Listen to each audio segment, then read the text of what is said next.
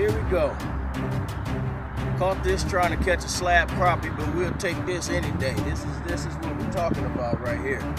Crappie Town, USA, but we'll take Bass Nation. We'll take Bass Nation. All right, signing off.